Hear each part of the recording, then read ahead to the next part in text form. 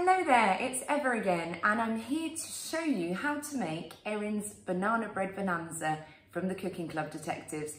It's the recipe that's right at the back of the book and it's the dish that Erin and her mum, the dessert they always make on special occasions.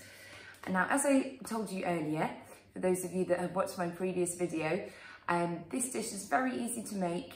Um, some very simple ingredients that you can get in any of your local supermarkets and um, it really just takes a few simple steps. You do need an adult to help you with the oven at the end, just, just so, so that you're aware of that. So let's get started. First of all, the recipe calls for two pretty ripe bananas. So unfortunately mine, as you can see here, I've actually got three, I've got a spare. Um, but as you can see here, mine are still a little bit yellow. There's no, there's no spots on them. Ideally, you would like to see a few spots just so that you know that they'll be nice and soft inside. And what you, you then go on to do is pop your bananas, which I've actually started doing, into a bowl. Now the trick is to slice them up. So slice them up using a knife. Again, uh, you might get an adult to help you here. Um, and use a fork, it's all you need. Use the back of a fork to just mash them into the bowl. So you might need to apply quite a bit of pressure just to make sure that all of the banana is very nice and soft and that you've um, basically got out any lumpy bits. So it might take you a little while to sort of mash it into a really, really nice, hopefully quite smooth pulp. Now I've cheated a little bit because I've already gone on to the next step and I've pre-prepared a bowl, which includes our second ingredient. Now the really great thing about making banana bread is that the um, quantities of the different um, ingredients are very similar.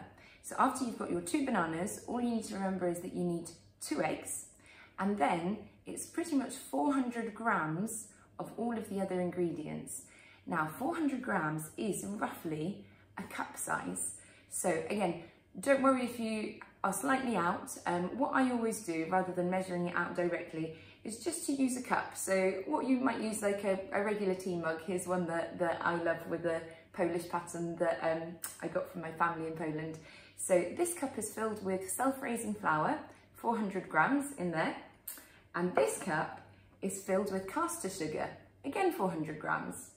And the other ingredient, which I've already mentioned that I've cheated about, is actually just regular unsalted butter, again 400 grams. So normally you get a pack which has 500, so um, just use a knife to um, slice off the 100 that you don't need, put that aside for later, and the rest of it is to be put into your bowl.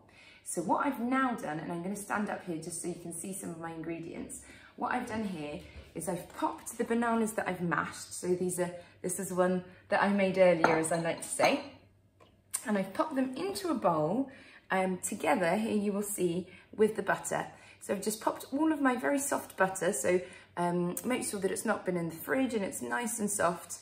And I've popped it in here with my two bananas that I've mashed up.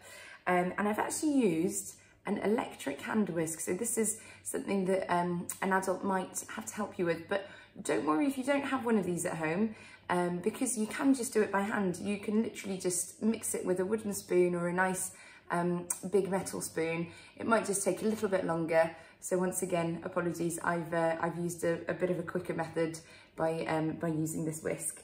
So, um, so I've here actually already got my bananas, already got my butter pre-mixed, um, so I wouldn't have to cause too much of a racket by um, switching on my whisk again. And actually, what I'm just now going to do is I'm going to tip in my remaining ingredients. So what I've got in here is I've, I've got another little bowl and here I've popped in my two eggs. I've cracked them um, open and popped them in. Uh, so yolks, whites together. Don't, don't worry about separating. And then uh, just used a, a, normal regular hand whisk. Again, you can use a fork if you don't have a whisk. Um, and just nicely sort of blended them together so that they're, they're quite smooth and the yolks have mixed in with the whites. So that's all, that's already there. And what I'm just going to do is literally just pour that in. So pour that into my bowl with my um, butter and with my bananas. So it's all nicely in there. And now it really is just a case of tipping um, your pre-measured 400 grams, which remember is just a cup size or a mug size. Um, so I'm going to pour in my self-raising flour. So pouring that in nicely. Hopefully it will all fit into my bowl, which perhaps is a little bit on the small side. Then I'm going to um, tip in my sugar. So remember this is the caster sugar that I mentioned, again 400 grams. So everything goes in there nicely. And now for the final touch, um, again, if you don't have this, it's, it's not at all a problem. Um, but if you do, um, or if you can find some at home, or if you find some in your local shop, if you have any baking powder, you can add just half a teaspoon of that just to just to help your banana bread rise a little bit. So I'm just gonna pop that in there as well. So there we go. That's literally everything you need. And now, apologies, because there's gonna be a bit of a racket and because my bowl is a little bit small, there might be a tiny bit of overspill around the edges. So apologies for that. You will probably be much neater than I am. So just bear with me. Sorry for the noise.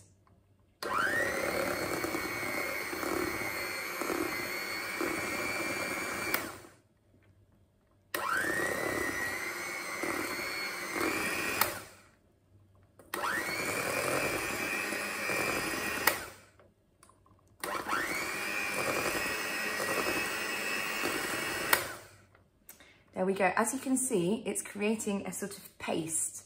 It's a, a sort of, um, at the moment, still quite still quite thick because the um, the egg hasn't fully dissolved with the rest of the ingredients. But the, the idea is to get it as smooth as possible. So I'm just going to keep going for a little while longer just to see if I can show you the ideal consistency.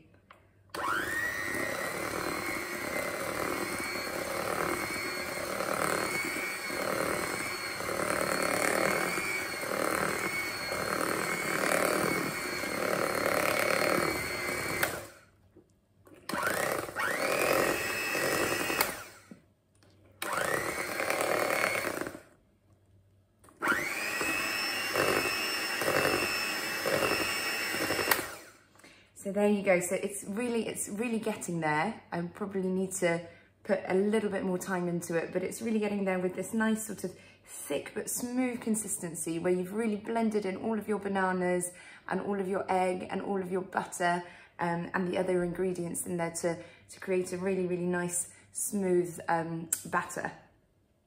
And really, believe it or not, sorry, I just we'll sit back down so I so you can see me. Um, believe it or not, that is more or less all that there is to it because once you've um, really blended it all together and um, I have done this with a spoon as well, it just requires a little bit more arm power and a bit more muscle. Um, once it's all really nicely blended, all you need to do is to get a nice, um, well actually you can, you can do one of two things. You can either get a nice round um, oven-proof cake tin um, or you can actually make banana cupcakes if you, if you wish to. Um, so you have two options there. And all you do is you have to remember, obviously, if you're using a tin, is to use some of your remaining butter um, and just to, to take perhaps um, a little bit of the butter packaging off, which I always like to do because it's very easy, and just use it to line the base of the tin um, so that it's very nicely greased and so that your banana bread won't, um, won't stick to it when you take it out of the oven. So uh, that's literally all there is to it. And once you've done that, um, or once you've prepared your um, cupcake cases and poured all of your um, mixture into those, it's a case of popping it into the oven at 180 degrees and do um, get an adult to help you with this. Um, popping it in, usually for 45 minutes, but it's worth pulling it out about 10 minutes earlier just to check um, with a skewer um, that the, the skewer, if the skewer or the, or the knife comes clean, it means that it's ready um, and it's good to eat. So I really hope that uh, you give it a go. It really is very easy and very, very tasty. And if um, anyone makes their own banana bread cake or banana uh, bread cupcakes, I would love to see any photos that you might post on Instagram or on um, Twitter. Thank you again for listening um, and I hope that you enjoy both uh, your banana bread and uh, that I've piqued your interest um, to find out more about the Cooking Club Detectives. Thank you.